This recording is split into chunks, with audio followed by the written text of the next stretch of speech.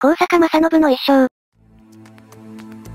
1527年2回の百姓、春日大隅の子として生まれるが、16歳で父が死去し、その5回、武田信玄の故障となる。姉夫婦と遺産をめぐって争った結果、身内に居場所がなくなってしまった。この頃の名は春日虎綱であり、後に高坂に改正する。姓は高坂とも表される。しかし約11年後に再び春日に複製した。26歳頃には足軽大将にまで出世し、27歳には小諸城代となり、30歳の時に信濃巻城主の高坂宗重の婿養子となり、高坂正信と名乗る。巻城周辺の北信濃は信玄と、村上義清ら阪神現勢力が長年争っていた。その勢力には越後、長岡下虎、後の上杉謙信も加わっており、戦略的重要性から正信に高坂を継がせたとされる。正信はその後海津城代となり、影虎からの守りや北信濃勢力の取り次ぎ役も務める。35歳の時には謙信と大激突する。川中島の戦い、第四次合戦、武田本陣は謙信の奇襲を受けて窮地に陥ってしまうが、正信は別動隊として馬場信春らと共に本陣を援護し危機を脱した。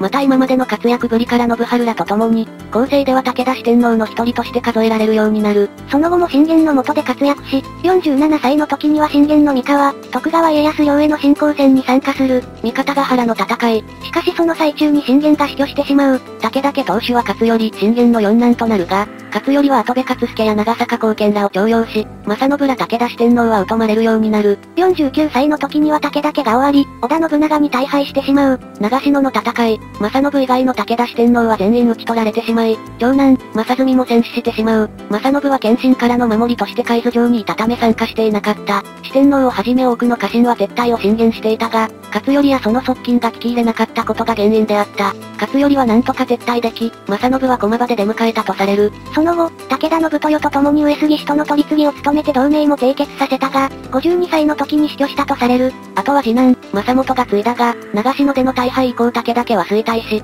正信の死から4年後に信長らに攻められて武田家は滅亡してしまう。旧武田領は主が転々とし、次男はその最中に上杉景勝によって中殺され、高坂着流は断絶してしまった。史実の一次資料として扱われることが多い文学書、紅葉軍艦は正信からの言い伝えが元になっている。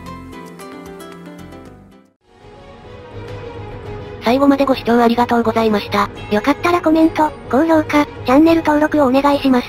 それではまた次回。